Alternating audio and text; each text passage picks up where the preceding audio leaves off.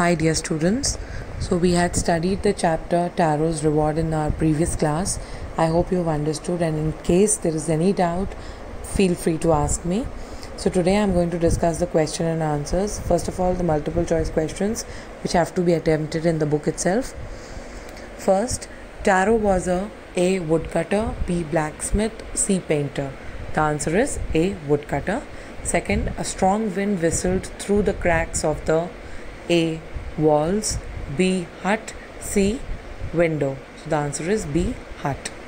Third is Sake is an expensive and heartwarming Japanese A. Dish, B. Drink, C. Chocolate brownie. So the answer is B. Drink. And the last multiple choice uh, question is Taro stopped chopping when he heard a sound similar to that of a. An owl's shrill hoot.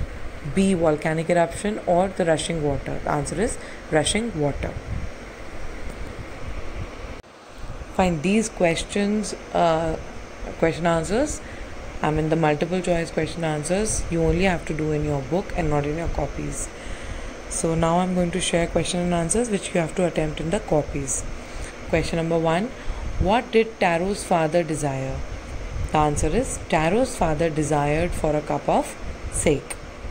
Second question What happened one evening that made Taro sadder than before? Answer One evening, cold wind blew into Taro's hut and his father wished for having sake to feel the warmth. The fact that the drink was expensive for Taro to afford made him feel sad and miserable. Third question Why did Taro run in the direction of the sound of rushing water? Taro ran in the direction of the sound of the rushing water since his mouth was dry and he was profusely sweating after a hard day at work. Fourth question What happened as soon as Taro's father drank the sake? After drinking only one sip, he stopped shivering and felt warm. Next question why did the Emperor of Japan honor Taro? When the story of Taro reached the Emperor of Japan, he rewarded him to encourage all children to obey and honor their parents. Sixth question We have been tricked. Why did the villagers say so? After hearing Taro's story, all the villagers expected the waterfall to have sake, so they went to the waterfall and found water instead.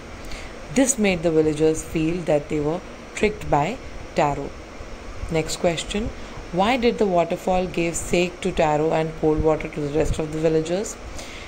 The answer is the magical waterfall gave sake to Taro because of his love towards his parents and his determination to make them happy, unlike other villagers who went there to fulfill their creeds.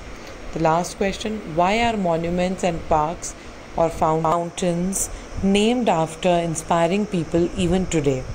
The answer to this will be monuments, parks, or fountains are named after inspiring people so that people remember their deeds even after they are gone. They encourage the generations to come to follow the path of goodness. So, this is one probable answer, and all of these questions you have to do in your notebooks. Thank you.